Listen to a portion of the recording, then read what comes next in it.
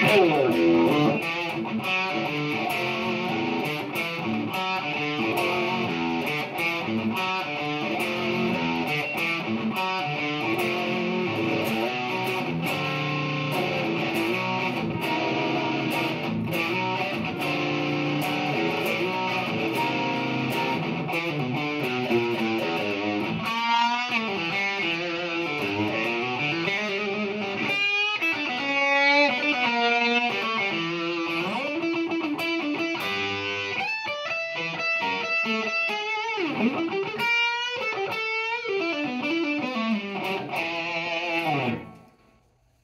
Hey, folks, welcome to the Mediocre Cover Band Guitar Guy. So, it's been a couple weeks. Uh, work's been really busy, and I haven't had a chance to place any content. That's what the cool kids call it placing content.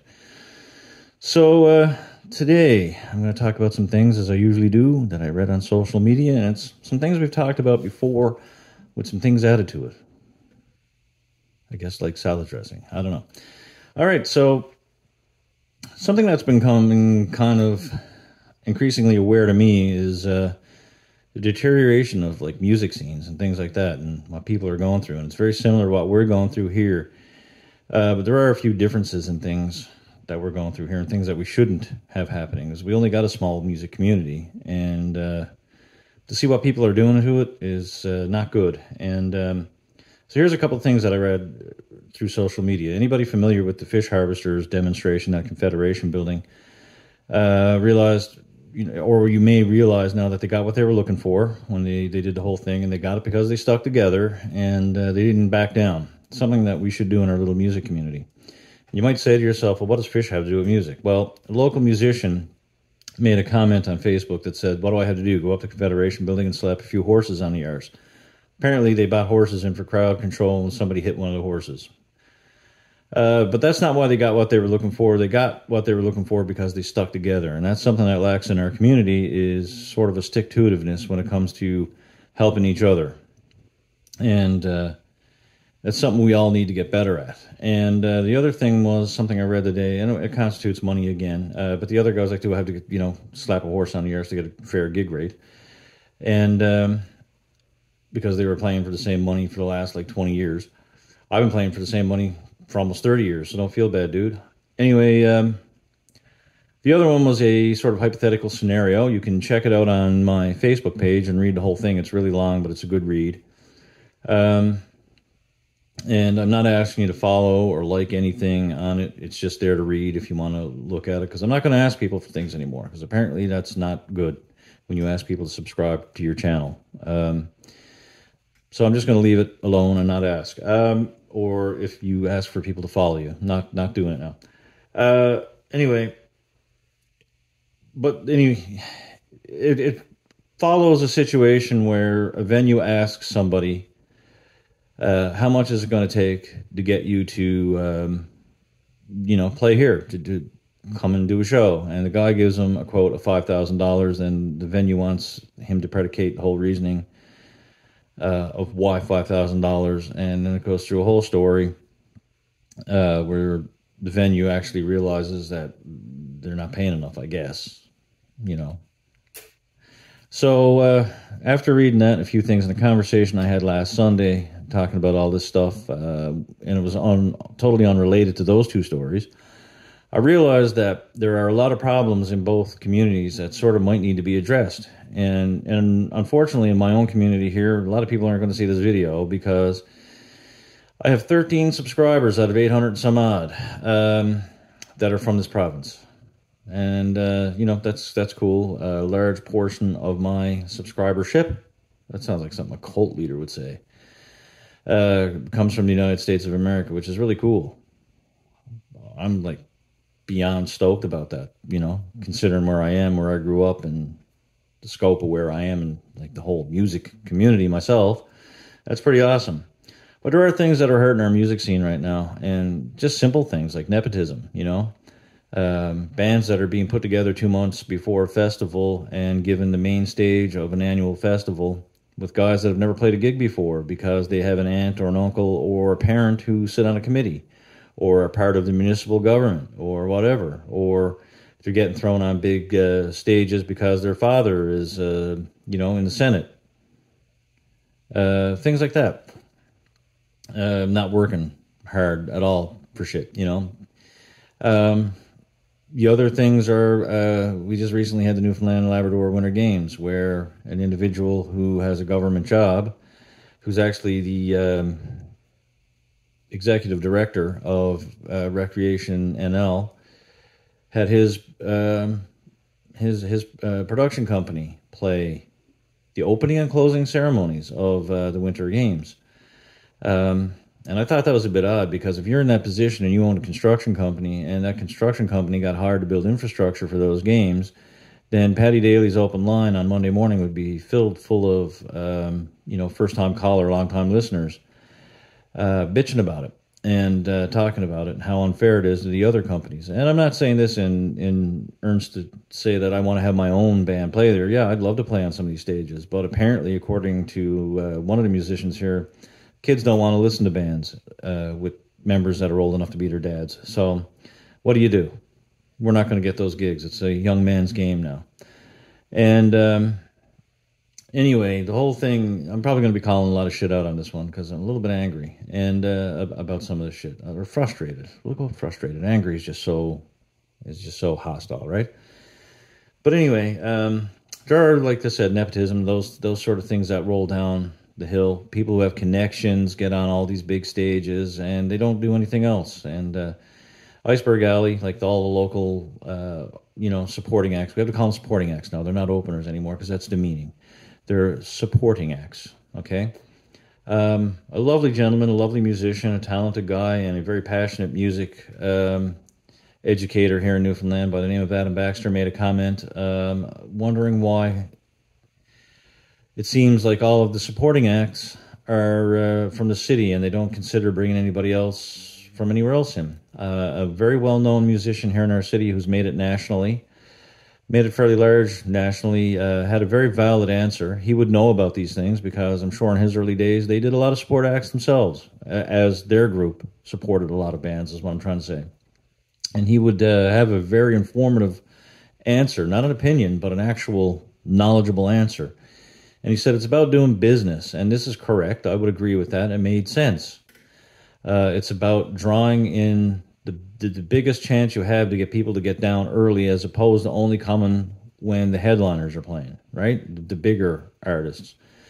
And um, I thought, you know, that makes sense. But then I thought about it. None of these guys are doing business, though. What, they're playing three shows a year at like the Rock House and the Black Sheep for the door they're not doing any more business than anyone else. In fact, they're probably doing less business than a lot of other people when it comes to that. Because we got guys that are doing original music that are playing every fucking week, but they're not part of the Little Darlings, right? You got to be a part of that Little Darlings club, and that goes in with the nepotism because you got that in. We've all got a connection, and we've all said to somebody, "Hey, is there any chance you could uh, point me in the right direction to get into this venue?" And there's nothing wrong with that. Somebody, I get messages. I used to get messages when we were playing all the time. How do we get here? Who's the contact here? And, and you give them a phone number. You give them what an email. You know, because you want the scene to thrive, right? And if it's good for one, it's good for all. So then there's the entitlement factor now. But a lot of the young kids that have been given through nepotism and through their connections, like you know, big gigs, and then when they don't it's like, well, why I, I haven't played Iceberg Alley in like three years or four years. It's been such a long time. Why can't I play it all the time? Because I'm so fucking adorable. It's not how it works, okay? It, uh, it, it does. It is how it works. So, but you just weren't lucky this time around. They swapped you out with some other darlings, okay? Um, and then the entitlement goes along with the coattail riders who came in on the backs of parents with political appointments, um, or you have a relative, a brother who's already been a somewhat famous musician, and you live off of that fame, and then your entitlement goes into getting gigs and thinking that you're the shit. You know what I mean? You're this big star because you're, you know, what I like to call a five minute celebrity. You do your gig and then you go to the bar, and then for five minutes, everybody's like, yeah, you're so awesome. Uh, but you didn't work to get where you're to, and you walked over a lot of people that were working their way up the chain, right? Guys that were doing gigs in warehouses, because it paid. You're doing a warehouse grand opening, right? Been there and done it. And it was one of our first gigs. Um, playing in a, in a warehouse, you know, racking set up next to you. My amp was like right next to racking, you know, concrete floor, forklifts parked over, and we played a full night. We played three sets in a, in a warehouse. But we got paid. We got paid well, so that's good for a first gig. Um, then we'll go with the coattail, or not the coattail riders. We'll go with the, the fucking gatekeepers we were talking about earlier. Like these guys are really doing a number. We had one individual who played a club who's the club is no longer around. Closed last November. Um, shoddy management, yeah, that definitely played a, a factor in it. You know, um, unexperienced management, I guess. But one individual had three bands going in there and hauled thirty-seven thousand. By our calculations, if his what he is saying he got paid in that bar, and it came from very reliable, credible sources. If he did get this money. He hauled thirty-seven thousand dollars out of this bar in less than a year, and not just him, but the bands. Okay, so the three projects he had going hauled thirty-seven thousand dollars out of a bar. They did not create thirty-seven thousand dollars worth of income for the bar. No, for the that just that's just a break even. They should have been able to create more money, so there was some profit there for the bar to make money and stay open, but they didn't. And he wasn't the only one that was doing this, kids. There were a couple more people who were in that same scenario. I think there was one guy at one point playing in seven bands that played that bar. And well, he played other places too. Don't get me wrong, but that bar they were there all the time. Um, there's a lot of lazy musicians around too. They book gigs and then they cancel them because they want to go hang out with their friends or they want to go to somebody's party and things like that. That's just not right. That's also not respecting the gig, and that's another thing you need to do. And respect the gig. Respect the crowds that are coming to see you. You know, don't make fun of people because they're bayman. A bayman, for those of you don't know, is somebody who lives like outside of the city. They live in a in a, in a place that you got to drive four hours, you know, uh, to get to the city. We call them bayman here. I don't know what you guys call them uh, anywhere else, but that's what they are here in Newfoundland. Don't make fun of, you know, don't don't shit where you eat. I guess is the thing. Um, if if somebody's good enough to hire you, like have respect for the gig, the venue, and the people that are paid to come see you. Uh, we got that individual uh, who last year yelled at people at venues and told them to get the fuck out. Like he played uh, um, Shamrock City, telling a story about one of the songs that he wrote about a mini bike. And um, yes, a grown man wrote a song about a mini bike uh, people got disinterested and started having a conversation because you're in a pub also that serves as a restaurant. Okay, you're aware of that when you took this gig, and people are probably going to say things like, "Hey, man, how's your food? How's your beers? You know, do you want something else?" Flips the shit, man. Like loses his absolute mind, yelling at people, telling them to shut the fuck up, and then tells them if they want to have a conversation, go down to Greensleeves. Really, you kicked them out of a fucking venue you don't even own. Really? So let's put this scenario in uh, you got somebody in fixing the toilet in a stall. Somebody comes in and decides they're going to sit in the next stall and drop a deuce. You don't like the fact that they're doing that. You're a plumber. You go and bang on the door and say, "Hey, you got to go down to Greensleeves and take a shit." You think the fucking venue's going to have that guy back? But no, the venue has this guy back all the time, and he did it again. He sent a young woman out crying in tears. So those people aren't going to come back to that venue. You lost customers. But you don't care because he's part of the Little Darlings and a coattail rider. See how it all starts to fit in? And is wrong. You're disrespecting the audience, you're disrespecting the venue, you're disrespecting the music. Thank God it's only Irish stuff. Anyway, as I said, it's frustration. Uh, you're disrespecting everything, okay? And you don't, at that point, you should be blacklisted. If anybody else in the city did that, they'd be blacklisted, right? they wouldn't be getting sympathy. They wouldn't have comments like, he only did right there. He's trying to earn a living. No, he's not because he got other things on the go and he's got money. He's just doing this to stroke an ego. And when his ego uh, kind of got bruised by somebody not giving a shit about what he was talking about, he took a temper tantrum like a fucking six foot six three year old. Right? That's what fucking happened. Let's call it what it is. Okay? But those people aren't going to go back to the venue that hurt the venue, but the venue didn't care. They're going to have him back because he's one of the St. John's famous darlings. Probably wants to have him on the fucking uh, NL Walk of Fame. Who knows? So there's disrespect, coattail riding, like all in one in that situation, right? And it, you know, then there's the venues, man. Holy fuck. There's a few things that I've come to realize in the conversation that I had last Sunday. We're all a part of the problem. Okay? Every one of us are on par with creating this issue.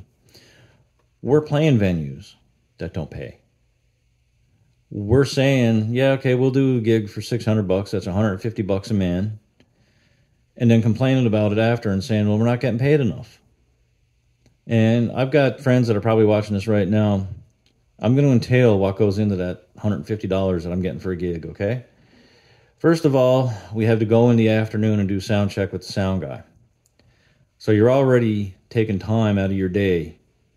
For me, if we're doing a two nighter and we're doing something on a Friday night, means I got to get off work early to get sound check. Okay? I'm lucky. I can get the flexibility to do so. Some members in our band don't have that flexibility. Okay?